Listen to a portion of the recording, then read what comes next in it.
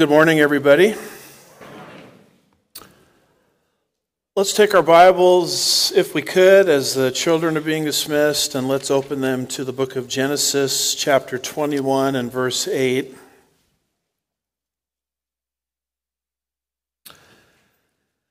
The title of our message this morning is The God of All Comfort.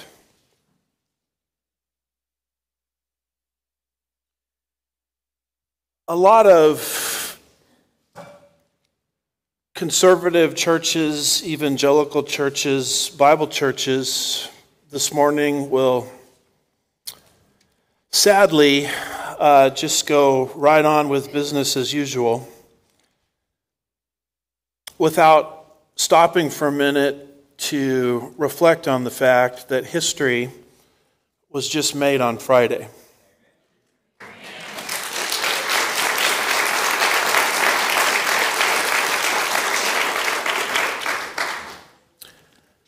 This uh, church, from its inception, has, in the whole controversy, pro life, pro abortion, has taken a position. This was part of our position statements long before I got here. But you'll see this in position statement number one. It says, We believe that the fetus, from the moment of conception, is a person and it quotes there Psalm 139, verses 13 through 18. In other words, it's a child and not a choice. We also believe that all persons are created in the image of God, regardless of age, health, function, and or condition of dependency. This is a viewpoint that we think is best espoused from the Bible. It's called the sanctity of life perspective. We do not take here a quality of life perspective, we take a sanctity of life perspective, meaning that all life is valuable, even life within the womb of the mother. And no doubt you've heard that our Supreme Court on Friday, after 50 years of wrongheaded jurisprudence reversed the infamous Roe versus Wade decision. There's been a lot of talk in the culture about it, a lot of commentary about it. I just want to take a couple of moments to explain to you why we think this not only is a positive decision, but it's the obvious hand of God in the United States. One of, uh, I'll have to admit this, one of the private sins that I have committed is writing the epitaph, if you will, the, the decline of America, thinking that God is finished with America faster than God is writing it it's very obvious that God is not finished with the United States of America, and God's hand is alive and well in our culture.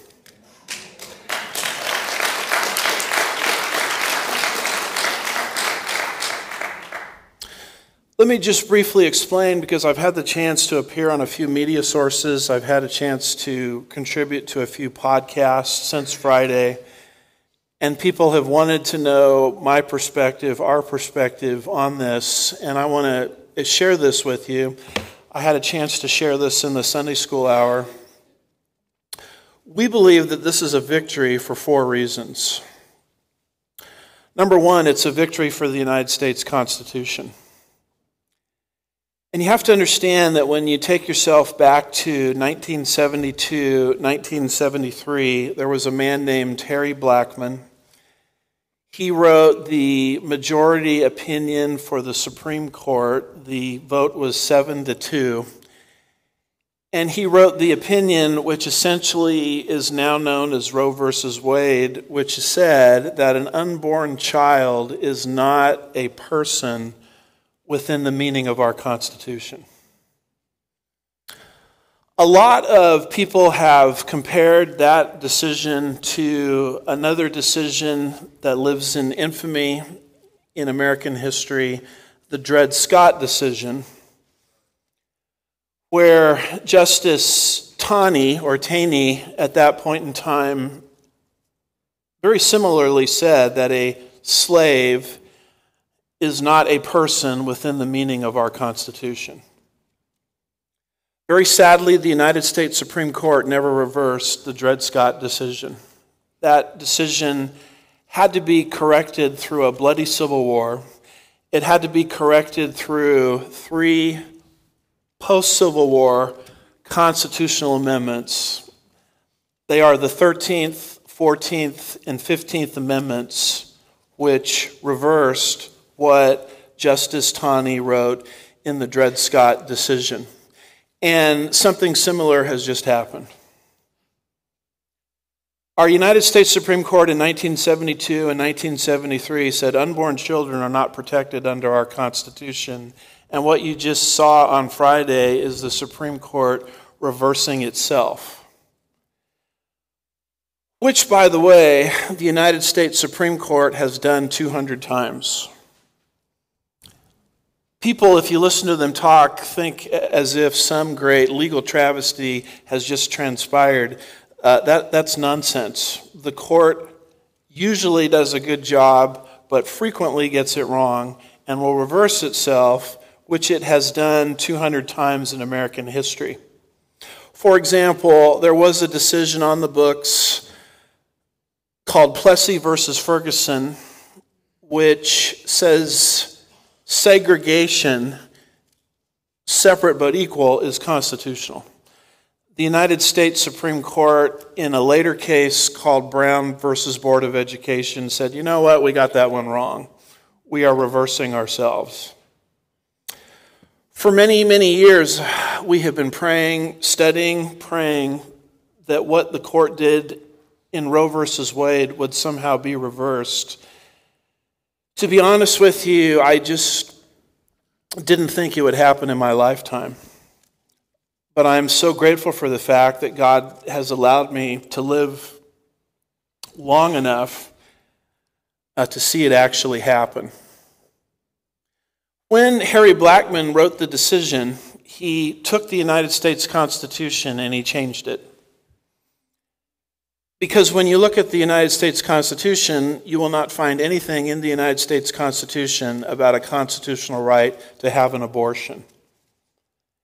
In fact, when the 14th Amendment, which is the part of the Constitution that Harry Blackmun said contains this right to have an abortion, when the 14th Amendment was passed, every state that passed the 14th Amendment had laws on its books preventing abortion. And so, for Harry Blackmun to find a constitutional right to have an abortion, which is what the Roe versus Wade decision is all about, he really had to, what we would call, strain at a gnat or strain at gnats. And in the process, he took the United States Constitution as an unelected member of the judiciary, members of the federal judiciary, you might be aware of the fact, are appointed for life. Meaning, if you don't like what they did, you don't have any recourse against them via the ballot box. He took the United States Supreme, uh, the United States Constitution, and he changed it. And in the process, he got around Article 5 of the United States Constitution, where our founding fathers were wise enough to understand that in the course of time, the document that, by the way, has given more people more economic and political and religious freedom than any other document in human history. If you want to change it, there's a way to do that. It's called the amendment process. The amendment process is deliberately difficult by design because it places the hand in the hands of those changing the document, it places it in the hands of the state governments, which is the layer of government which is closest to the people. That way, if I don't like how my state legislators um, are changing the document, I have recourse against them through the ballot box. Harry Blackmun circumvented that. He, as an unelected federal member of the judiciary, the United States Supreme Court wrote, rewrote the Constitution in the Roe versus Wade decision. And he, in the process, said to the people, You're not going to be able to resolve this issue. I'll resolve it for you. What was he trying to resolve? The most controversial issue of our time period when does life begin? He took it upon himself and six colleagues to answer that question for us. There was never a debate on it, there was never a vote on it. There were never any factual trials or hearings on it. He just said, I'll take care of the issue for you. I'll rewrite the Constitution. I'll make having an abortion a constitutional right. And in the process, he altered the Constitution. That has been the law of the land in the United States of America for 50 years. I find it very interesting that in the Bible there's something called the year of Jubilee. Or on the 49th year, debts are to be released in preparation for the 50th year. And I find it very interesting that God sovereignly and providentially worked in history to allow this decision to be reversed on that exact time schedule the year of Jubilee. It is undeniable that the hand of God is in this. One of the reasons I say that is you just have to think back to 2016,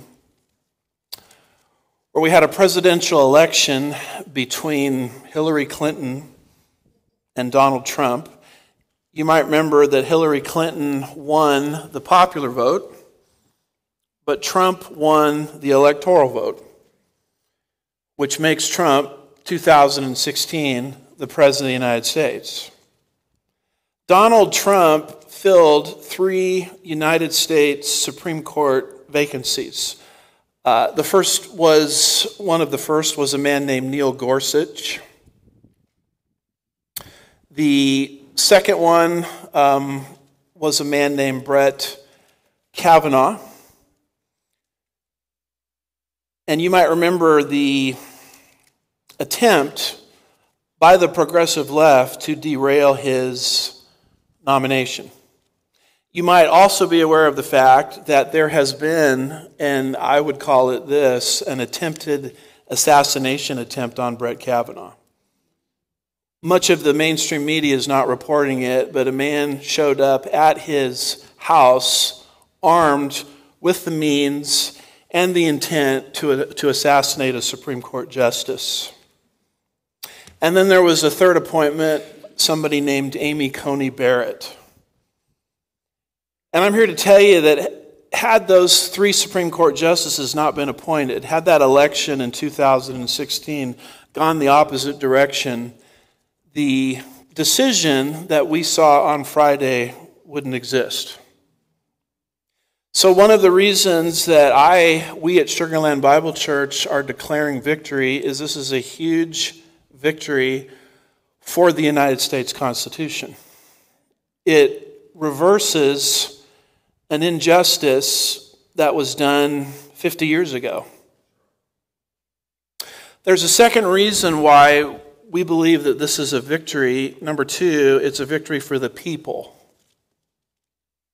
Because under the Roe versus Wade paradigm, the American people were never allowed to have a say, they were never allowed to have a vote, they were never allowed to have a voice on one of the most controversial issues of our time period when does life begin?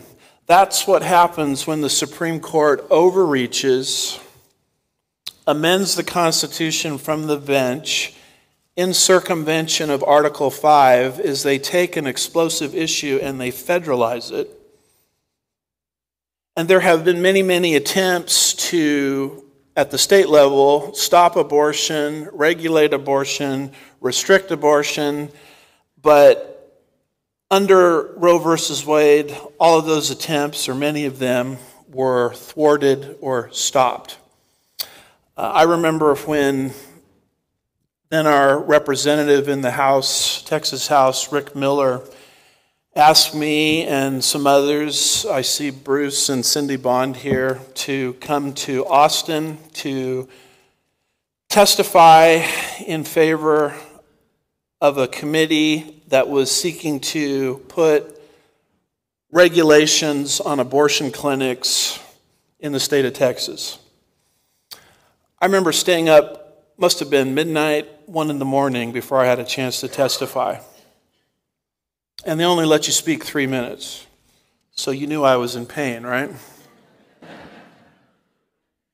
And I remember going through that all of those hurdles, all of those procedures that you have to go through to get a law into effect, only to have a court knock everything we tried to do down because Roe versus Wade didn't allow it. That's what Roe versus Wade did. Roe versus Wade took the power out of the hands of the people, out of the hands of the elected representatives, and said, You might make the wrong decision, so we will make the decision for you. That's what happens when the court federalizes an issue that's not found in the United States Constitution. And guess what? With Roe's overturn on Friday, the issue now goes right back to where it should have been at the beginning the individual state governments. Which means that we, the people, can have a say in the process. We couldn't have a say before. Which means, as many are tempted to think, oh, the controversy versus pro life and pro abortion, that's over, right? No, it's not over. It's just starting. And for the first time, God has seen providentially and sovereignly to give you a voice in the matter. Because your Bible, over and over and over and over again, says, Speak out for the innocent. Plead the case of the helpless. You couldn't do that under Roe versus Wade. But now you have the ability to do that. It's, it's almost as if the handcuffs have been taken off. And by the way, the Bible says, to whom much is given, much is what? Much is required. The truth of the matter is, if you go to sleep now, and abortion on demand continues on and on in American culture, you, you have no one to blame but yourself. Under Roe versus Wade, you could always say, well, United States Supreme Court has ruled. What can little old me do? That just got taken away. The power is placed now in the hands of we the people, where it belongs. Because the truth of the matter is, United States Supreme Court justices, although they all graduated from Harvard,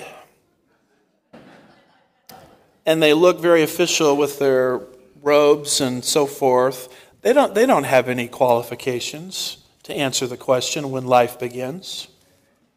That's a, that's a matter for the biblicist. That's a matter for the theologian. That's a matter for the philosopher. That's a matter for the medical experts. And now, with the issue going back to the state level, we get to hear all the evidence. And we get to decide state by state should abortion be limited or not. We have uh, some visitors today from uh, Missouri, and I'm happy to report that Missouri is the first state in the Union that is now officially a pro life state because of what happened on Friday.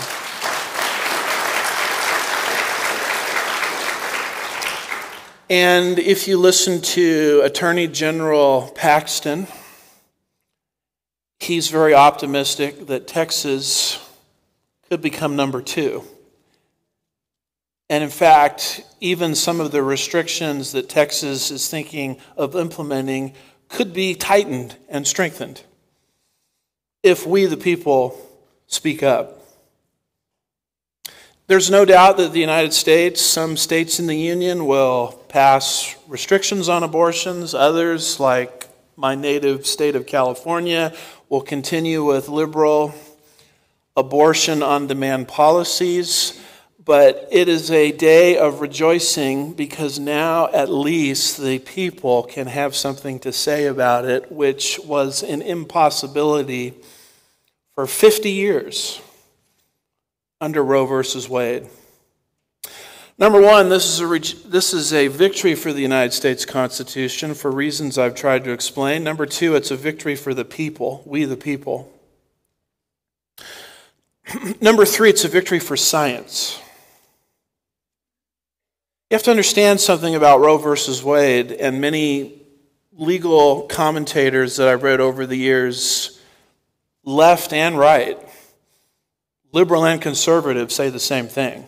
They say the Roe decision was made in a scientific vacuum.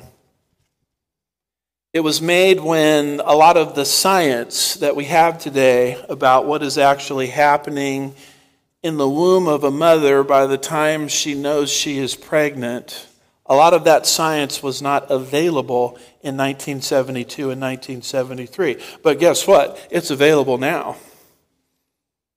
This is why you see so many young people, interestingly enough, moving to the pro life position.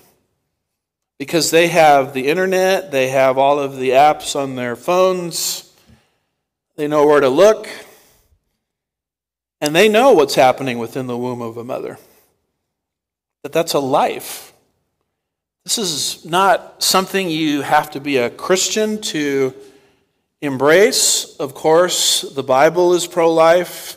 Psalm 139, verses 13 through 18 is pro life. But you can today have absolutely no knowledge of this book and just have a basic understanding of science through technology, and you can see what is happening within the womb of a mother by the time she knows she is pregnant is in fact a life. If Roe versus Wade had continued on, all of this science would have been excluded because the decision was already made for us in 1972 and 1973. But what happened on Friday with the United States Supreme Court's reversal of Roe through the Dobbs decision is a pro people, pro scientific ruling. Because now all of the data, all of the science can be examined. We're going to have hearings. We're going to hear experts testifying at all the different 50 state governments, something that did not and could not happen during Roe versus Wade. So, this is a victory for the Constitution. This is a victory for the people. It's a victory for science. And the last thing I'll leave you with here is it's a victory for the children. Abortion is a human rights issue. Should there be laws on the books protecting people who cannot protect themselves? The biblical position, the Christian position, is yes. Those that are pro abortion will reject that and they will say no. But now, thanks to the overturning of Roe versus Wade, you could start to conceivably see many, many states moving in the direction with legislation protecting the helpless, protecting those who cannot help themselves. And it is interesting that when a society moves away from a sanctity of life understanding, to a quality of life understanding, which is the type of culture you're living in, where life has value not because it's life, life has value because it's useful. Useful if a person uh, has no mental defects, their life is useful. If a person does have mental defects or is handicapped in some way, then their life is non useful. When a society rejects sanctity of life, which is what our society is doing, and moves to a quality of life understanding, the first two people scheduled for elimination are the two groups that don't have usefulness anymore in society. Those are A, the unborn, and B, the elderly. That's why in quality of life societies, abortion and euthanasia, an early exit for the elderly, are high priorities. But let me tell you something about the elderly. The elderly in the United States of America know how to politically organize. They know how to donate money to political campaigns. They know how to fight back. The unborn don't have that option, do they? So the elderly survive and thrive in the United States of America, but the unborn do not. And Roe versus Wade sort of served as cover, it's sort of served as interference for 50 years, preventing state governments from stopping the taking of life in a womb. And all that is gone now.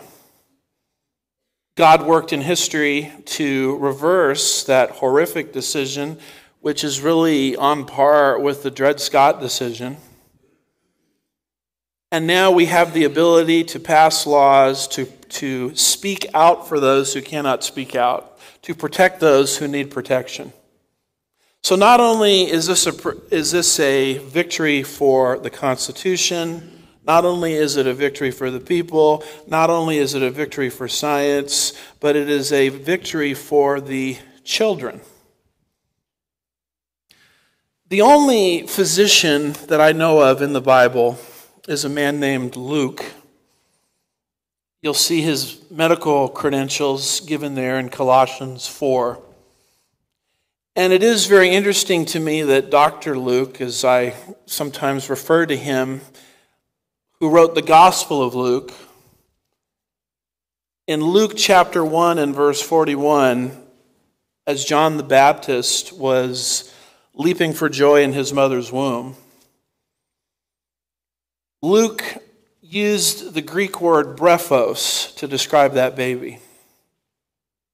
And then Luke, one chapter later, in Luke chapter 2, verse 12, concerning the baby Jesus outside of his mother's womb, in the manger uses the identical word brephos to describe Jesus. In other words, Dr. Luke, through his use of the Greek word brephos, so, saw no distinction between born and unborn. To move into a distinction between born and unborn, born is alive, unborn is not alive, is number one, to reject sanctity of life and to move towards a quality of life understanding. But it's number two, to fly right in the face of this book that we call the Bible, God's Word. And so God has seen fit that this decision has, just like that, disappeared. Um, you can thank God or you can credit people for this. A lot of people in the pro life community have been working very hard to see this day. I don't want to undervalue their contributions. But when you just step back and look at God's work in American history recently, you see very clearly that this is a God thing. And it may be just a little too early to write America off because apparently God hasn't. I understand fully well that when I talk this way, it's sort of a dangerous, divisive subject because of the onslaught of abortion. You have to understand how many people have actually, because of Roe versus Wade, lost their lives. It's my understanding that more lives have been lost through abortion subsequent to Roe versus Wade than in all of American wars, including the Civil War, where we were killing each other several times over. Roe versus Wade has been so infamous that you might want to describe it this way In a country like ours of what, 320 million, 330 million people, imagine that one out of every six or one out of every five people just, just like that disappeared. That starts to help us conceptualize the body count that has transpired in the United States of America subsequent to Roe versus Wade. And given the magnitude of the number, there's no doubt that many people within the sound of my voice, or people in the building, or people listening online, or people listening via archive after the fact, have been involved in an abortion had an abortion, financed an abortion. And so, whenever I move in this pro life sort of direction, I also want to emphasize that if you've been involved in procuring an abortion, the grace of God is available. The grace of God is so deep that it will even cover a sin which is as egregious as taking someone else's life. I'll remind us all that three of God's choicest servants in the Bible had blood on their hands. Uh, one of them was a man named Moses. The second one was a man named David. If you don't think that God can forgive the sin of murder, then you might as well take most of your Psalms and just tear them out of your Bible. David, having written many, if not most of those Psalms, after he committed that terrible sin of murdering Uriah the Hittite, and then you move into the New Testament and you have the greatest theologian and missionary that the world has ever seen, a man who wrote one third of our New Testament epistles, a man named the Apostle Paul. You have to understand what Paul was doing before he got saved on the Damascus Road is he was persecuting the church to the point of murder. Uh, in fact, he, when you study the end of Acts 7 very clearly or carefully, was actually involved in holding the coats, if you will, of the stone throwers who threw rocks at the first martyr of the church age, a man named Stephen. That's who Paul was. This is who Moses was. This is who David was. There is no sin beyond the grace of God. Abortion is a terrible thing to think about. It obviously brings conviction into a lot of people's lives. And so, if you find yourself today in those circumstances, I would say that the grace of God is available for you. And not just that sin, but any sin. What happened um, Friday is historic. It's something I never thought I would see. A great injustice has been done away with, and a tremendous victory has been brought forth for A, the Constitution, B, the people, C, the science, and D, not the least of which, the innocent unborn children. It's kind of interesting that when you look at polling data, you know, they're always coming out with these polls don't you understand that 53% of the American people favor abortion on demand, favor life as it was once known? In the Roe versus Wade era, I find it very interesting that those polls never poll the unborn.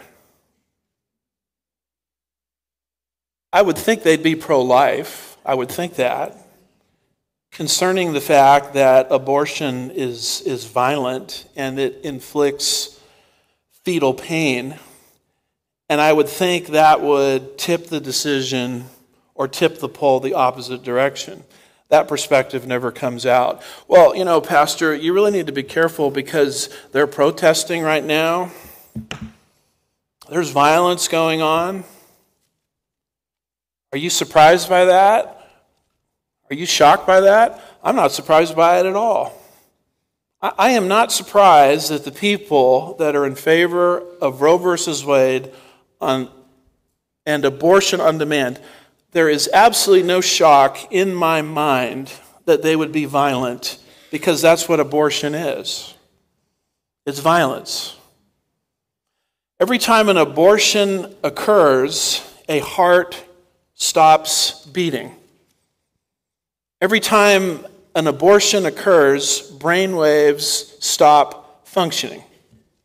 It is one of the most murderous, barbaric things that I think has ever been foisted on the human race. And to be honest with you, in my prayer life, I would just say to the Lord, I'm embarrassed. I'm embarrassed that this is part of the judicial thinking of the United States of America. Lord, I don't have any right to ask you to bless the United States of America when this kind of thing is going on. After, your, after all, your own word says, with the first murder in human history, Cain murdering Abel, says it there in Genesis 4 I want to say around verse 7, right in there, that your brother's blood is crying out to me from the ground. How in the world could, could God, who said that, look the other way at the onslaught on the unborn?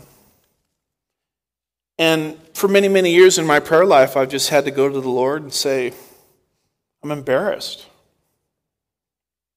I don't have any, have any right to ask you to bless our country because of something that Harry Blackmun did 50 years ago.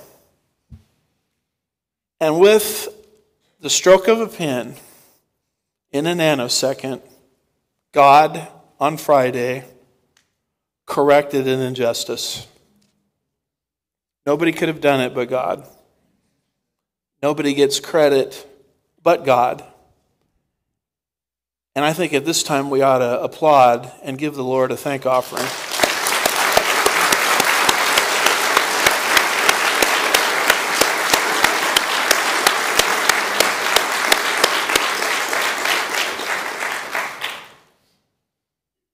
I usually do my patriotic preaching on 4th of July weekend, which is next week. So you can kind of take this as first fruits of the things yet to come.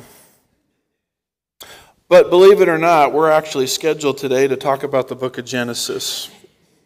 Can you guys transition with me for 20 minutes or so remaining into the book of Genesis? We're sort of at a part there in the book of Genesis related to the fact that Isaac Genesis 21, verses 1 through 7, has been miraculously born. We studied that last week. And every time there's a blessing, we've even seen it at this church as sometimes our staff members talk amongst ourselves. Every time there's a blessing, there's some kind of problem that comes up. There's some kind of opposition that comes up. In fact, as we're living now for the first time in a post Roe versus Wade world, I can tell you this much Satan does not like what happened on Friday. And hell itself, to a very large extent, has the potential of being released. Because when you have a victory, there's typically a problem. You can find this theme all the way through the Bible. You see it right there in Genesis 21, verses 1 through 7. Amazing victory just happened. A, a child was born to a woman who was 90 years old in fulfillment of God's promises. Without that child, you don't have the lineage leading to Jesus or the nation of Israel. And you would think that there would be time and opportunity to just sort of relax and enjoy the victory, but that does not happen. As you move to verses 8 through 21, you see an expulsion of Ishmael. The Hagar Ishmael line does not like what just happened with the Abraham Isaac line. And so, as we start to work our way through this passage, here is the outline that we're going to try to work through. Of course, that's a big laugh. We'll, we'll never get through all of that today. Maybe a point or two. But notice, if you will, verse 8 Isaac's weaning. It says in verse 8, Genesis 21, the child grew and was weaned and Abraham made a great feast on the day that Isaac was weaned. So the child Isaac has been miraculously born. First seven verses of Genesis 21. And now we have a ceremony, a feast, uh, a weaning party, if you will. And it's generally believed that Isaac, by this time, is about somewhere, if we factor in when this normally occurs in the Hebrew or Jewish tradition, he, w- he was probably about age three to age five when these events begin to unfold. And you move from there, from Isaac's weaning, into Ishmael's mocking. Look at verse 9. Genesis 21, it says, Now Sarah saw the son of Hagar, the Egyptian, whom she had borne to Abraham, mocking. Notice that she is called Hagar the Egyptian. Where did Hagar come from? Hagar, of course, came into the household of Abraham when Abraham, then Abram, in Genesis 12, sort of really didn't believe God's promises and kept moving from the land of Canaan down south into Egypt. You remember that he lied at that point, told a half lie, told Pharaoh that Sarah was his sister. God reverses that. And it's at that point, it's largely believed that Hagar the Egyptian joined the household of Abraham. And then you get over to Genesis chapter 16, and you basically learn that Abraham and Sarah got tired of waiting on God. I've been there. God, it's, it's taking you so long to fulfill your promises. I'm going to try to help you out. I mean, after all, Lord, Roe versus Wade will never be overturned. Can't tell you how many times in my life I thought that, particularly when the Casey case came out and reaffirmed the Harry Blackmun principles of Roe versus Wade. It'll never be overturned. And yet, God, as only God can do, is always working in history to fulfill his word right on time right down to the 49th and 50th year. Who could ever thought of such a thing other than God himself? And so they got tired of waiting upon God, and Sarah says to then Abram, I want you to go and have a sexual relationship with Hagar. I, I notice Abram isn't arguing with her too much there. And he impregnates Hagar, and Ishmael is born. And Ishmael is the product of human works, the product of helping God, the product of impatience with God. Had Abram just waited on God, he would have eventually gotten to Genesis 21, where Isaac would have been born, but they just got tired of waiting upon God. They tried to help God. And Ishmael comes into the picture and Ishmael, the products of works and religiosity, does not like the birth of Isaac. In fact, he Isaac's Isaac. Arnold Fruchtenbaum writes, What she Sarah, saw him, Ishmael, doing was mocking. The Hebrew word for Isaac and the Hebrew word for mocking is the same root, but appears here as a Piel intensive. Here again, there is a play upon words with Isaac's name, but this time in a negative sense. Ishmael took Isaac's name and its meaning and reduced it to mockery. He was Isaacing Isaac. And then Arnold Fruchtenbaum says at the last sentence there, nor was Ishmael just a young child. He was 17 to 20 years old, we think. And he was mocking someone who was between the age of three to five years old.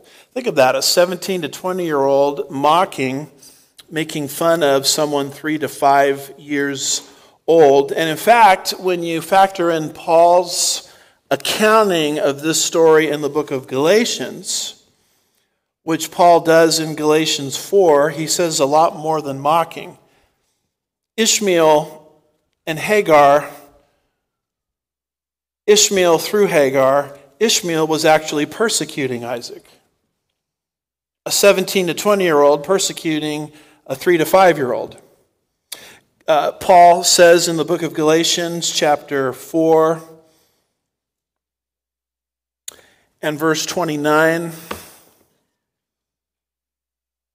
which I thought I had there on my little sheet, but I didn't. Confession time. Galatians chapter 4 and verse 29 says, But at the time, he who was born according to the flesh persecuted, that's, that's a more intense word than mocking, persecuted him who was born according to the Spirit, so it is now also. What's this persecuting and mocking going, going on here? Why is it going on? Ishmael was worried over the fact that he was now disinherited. As the only son, he would receive the inheritance. Now the rules have changed. The inheritance is going to Isaac the natural born son. Charles Ryrie says of this verse, from the same Hebrew root as Isaac, though in intensive form, the word is also used in Genesis 19 and Genesis 39.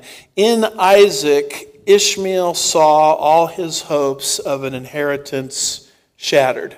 So that may explain his derisive, mocking uh, tone towards Isaac and why he would persecute such a young child. Sarah watches this and doesn't like it. And so she makes a demand. The demand is given in verse 10, which says, Therefore, she said to Abraham, Drive out this maid who, by the way, we picked up in Genesis 12. Drive out this maid and her son, for the son of this maid shall not be an heir with my son Isaac. There it is in print. Uh, I don't want my son disinherited. So Sarah watches this persecution going on, and Sarah goes to her husband and says, Get rid of Hagar and get rid of Ishmael. Now, what's interesting is archaeology of the day confirms this response.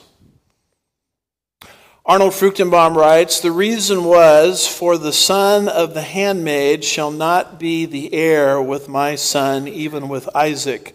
Isaac was to be the heir, and Ishmael was to be disinherited.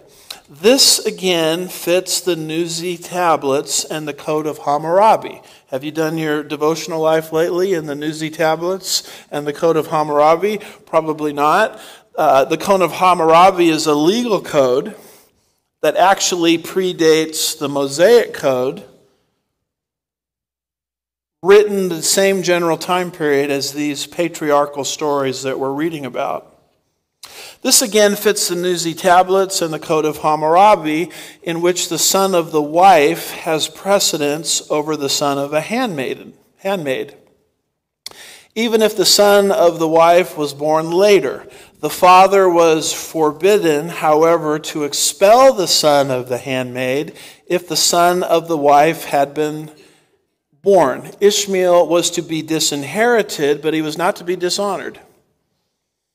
Hence, the intervention of God would have to come into play for the expulsion to occur. This is why Abraham is distressed. He's distressed, I think, for a couple of reasons. Ishmael, after all, was his son.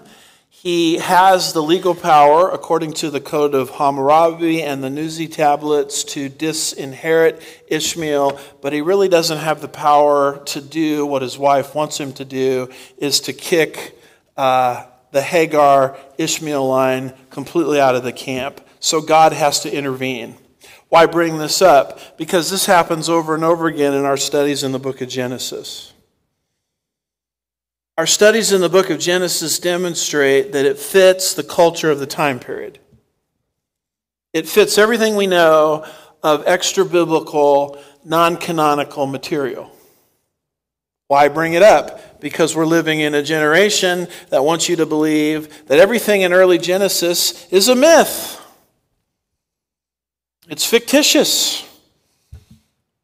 I mean, nobody with any intellectual credibility would take this as history. That's what our children are taught in public school. It's what cable television screams at us all of the time. It's what all of the apps on our phones say. I mean, this is no different than Jack and the Beanstalk. This is no different than Veggie Tales. And unless you're in a church that brings up these little historical facts, you're swept into the tide of unbelief. This is history. These were real people. This happened exactly like it reads. And it's not something out of the box in terms of the history that we know of the time, it fits perfectly. Everything that's happening here, not just in this story or this narrative, but countless others that we have read, fits the narrative. Now, what Sarah is saying is kick her out and kick him out. It is very interesting that Paul the Apostle, in the book of Galatians, chapter 4, verses 24 and 25, uses these two lines, the Isaac line and the Ishmael line, to teach an allegory. Paul, when he does so, is not allegorizing what the Bible says. He is not dehistoricizing what the Bible says. He, as an apostle, writing under the inspiration of the Holy Spirit, says, I'm going to use this historical account, this historical happenstance, to teach a spiritual lesson. Now, one of the first uh, extended studies that I did when, here when I came to Sugar Land Bible Church, I think this was before we actually started putting our presentations on video. You can find this in audio format, was a verse by verse study of the book of Galatians. Why in the world, Pastor, would you, in your opening series at Sugar Land Bible Church, after you finished Ephesians, why would you talk about Galatians? Very simple reason. I was seeking to drive legalism out of our church. I was seeking, better said, to allow the Holy Spirit to use His words in His book, the book of Galatians, to drive legalism out of Sugar Land Bible Church. Because let me tell you something about legalism, it's just as lethal as liberalism. Liberalism takes the Bible and wants it to mean less than it says. Legalism takes the Bible and adds more to what it says. Paul's biggest conflict was with legalists. It was with people who were saying, you've got to go under the law of Moses in addition to faith, either to get saved, justified, or to grow as a Christian. Paul responds to that by using the Sarah, Hagar, Isaac, Ishmael expulsion account to react against legalism. He does it in Galatians 4, verses 22 through 26 but just focusing here on Galatians 4 24 and 25. He says, This is allegorically speaking. For these women are two covenants. He doesn't say these women didn't exist. He's saying, I'm an apostle, I'm writing under the Holy Spirit. Let me add a layer of meaning to what you're reading about in Genesis 21. One proceeding from Mount Sinai, that's legalism, bearing children who are to be slaves. She is Hagar. Now, this Hagar is Mount Sinai in Arabia and corresponds to the present Jerusalem, for she is in slavery with her children. Why am I allowed in the book of Galatians to adopt an allegorical meaning? Because Paul says that's what he's doing here through the word allegorically. And when you see the word allegorically, you're allowed to adopt an allegorical meaning to historical events in the Bible. In other words, a spiritual meaning beyond just the naked historical account. And you're allowed to do that because Paul uses the word allegory here. And you're not allowed to come up with your own allegory.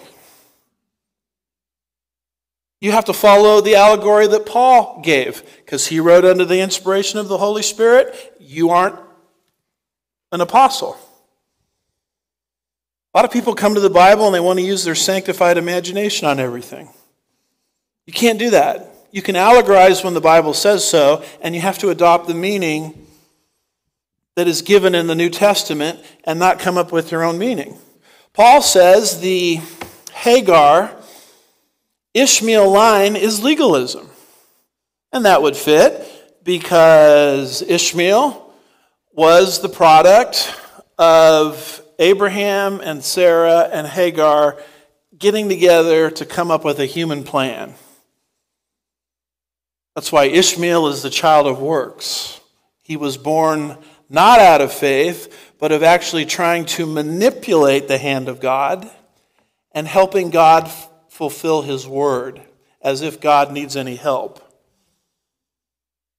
You know, all of the hand wringing about Roe versus Wade that's gone on for 50 years, apparently God didn't need any help. He just took care of it in his timetable. And God doesn't need any help fulfilling his word. Isaac is going to be born. The nation of Israel is going to come through Isaac. Jesus, the Messiah, is going to come through the nation of Israel. I'm going to execute this in my timing. I don't need your help. What I want you to do is wait upon me. Well, Abram, Hagar didn't do that in Genesis 16, but in Genesis 21, they did. They learned a lesson. Those who wait upon the Lord will what? Renew their strength. The Eric Liddell verse, right? They will run and not grow weary, I think it says, or walk and not grow weary. They will run and not feel faint. You can fact check me on that when you want to to see if I got that right. But it's right there in Isaiah 40, verse 31. So the Ishmael line is the product of religiosity, the Isaac line is the product of faith. The Ishmael line is the product of trying to make God's promises happen. The Isaac line is the product of faith and the miraculous and waiting upon God. And I'll just let you in on a little secret. It's really not a secret at all. No extra charge for this. But your life as a Christian is going to go a lot smoother when you fit into the pattern of Isaac and not Ishmael. As long as you're in the Ishmael mindset, gosh, I want to get married, I've got to make this happen as fast as I can, as an example that's the pathway to misery. The pathway to contentment in the Christian life, fulfillment in the Christian life, is waiting for God to do what He said He would do for you in any area of life. And so, this is why Sarah doesn't like what's happening there in verse 10. And he bas- she basically says, Drive out Hagar and Ishmael to the point where Abram is distressed about it. And that's what Paul says in the book of Galatians. He says, Get legalism out of your life. Learn to draw upon the resources of God, not only to be justified, but also to grow. It's not going to happen through willpower. although that may play a role. It's going to happen through the power of God that He's put inside of you. He says in the book of Galatians, chapter 3, verse 3 Are you so foolish? Having begun in the Spirit, that you're now being perfected by the law, perfected by works? Why in the world would you ever think that you're saved completely on the basis of His grace and then somehow in the middle tense of your salvation, you're going to have to white knuckle it and you're going to have to rely upon your own power and you're going to have to work it out and sweat it out? That would be schizophrenic to believe that. That would, believe, that would be like God contradicting himself. You got saved by grace, but boy, you better put those rocks on your shoulders and you better walk up that mountain and you better pull this out by human power. That's the foolishness that the Galatians were under. And Paul says, just as Sarah kicked out Ishmael and Hagar, do the exact same thing with legalism. That's why I started with the book of Galatians here. I wanted to, to pastor a, a church where God's resources are highlighted and man's manipulation is de emphasized. And I'll be honest with you, and I didn't expect it at the time, but that message has alienated a lot of people. A lot of wonderful people have come into Sugar Land Bible Church, but I'm here to tell you, a lot of people have left. And you always want to know why did they leave? People leave for a lot of different reasons, but I would have to say, if I was ranking the reasons, the number one reason why people end up leaving is the doctrine of grace. Unmerited favor. Because when you tell them they're not saved by works, but faith, They'll applaud you on that one. And then, however, if you tell them that once they're born, they're born, they can't reverse that. And so, just as good works never got you in the door to begin with, good works don't keep you in the door either. That's a message that they don't want to hear. They want to think that somehow I'm saved by God's grace, but I'm kept through religion and human power. That's not the doctrine of grace. The doctrine of grace says you're kept by the same grace that got you in the door. What got you in the door was the grace of God, and what keeps you in the door is the grace of God. And you, you know what? Your life as a Christian may. Uh, go off in a wonderful direction of fantastic good works, or your life as a Christian may yield very little, if anything. But the person whose life is in exponential growth is kept by God's grace, just like the person who's yielding very little fruit. The doctrines of Calvinism and Arminianism go exactly the opposite of that. They say, well, if you're not yielding any fruit, maybe you were never saved to begin with. Maybe you were never one of the elect. Or the Arminian comes along and says, well, if you're not producing good works, maybe you lost your salvation. And most of Christendom, Christianity, labors under those two systems. Because they didn't do what Paul said. They didn't cast out the bondwoman and her son. Now, don't get me wrong, folks. I'm not downplaying good works. Uh, I'm not downplaying the need to obey Christ as one of his children.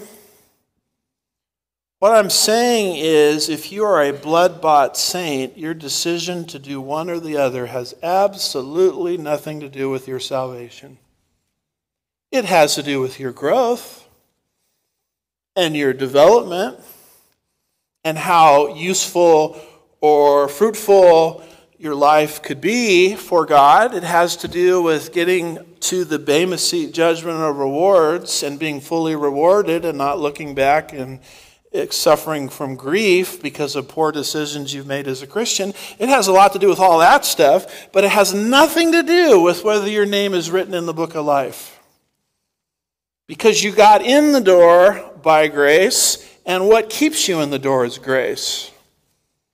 A lot of good works, you're still kept by God's grace. No good works, you're still kept by God's grace. And people, when they hear that, will head for the exit as fast as they can because it's counterintuitive to the way we're taught. If I'm going to have God's love continuing to shine upon me, I better do right. If I don't do right, maybe I'm not his child. That's what most of the world of religion teaches. That's not what God says. That's not what the Bible says. And so God Sarah says, Drive out this maid and her son. Paul says, allegorically, this is speaking of ridding your life of legalism. Verse 11 Abram is then brought to a place of grief, and I'm actually at a place of grief right now because it's 1231. So we will have to pick this up next, next Lord's Day. In fact, it won't even be next, next Lord's Day because next week is 4th of July Sunday, right? So, as I t- told the Sunday school group, we're going to have a fireside chat next week, and I will supply the fire. Amen. If you're here visiting for the first time or you don't know Jesus personally, we would simply ask you to survey the wondrous cross where Jesus said, John 19, verse 30, his final words, it is finished. There's nothing else for you to add other than you to trust, rest, or rely upon what Jesus has done for you. And that's, you can become a Christian right now simply by doing that. Faith alone. Trusting in Christ's work alone, not your good works so as to be saved. You can do that now as I'm speaking. If it's something that you need more explanation on, I'm available after the service to talk. Shall we pray? Father, we're grateful for something that's monumental in American history, for allowing us to see it. Help us to see your hand in it and the grace that you have bestowed to our country. And beyond that, help us this week, Father, to walk in your grace as your people. We'll be careful to give you all the praise and the glory. We ask these things in Jesus' name. And God's people said,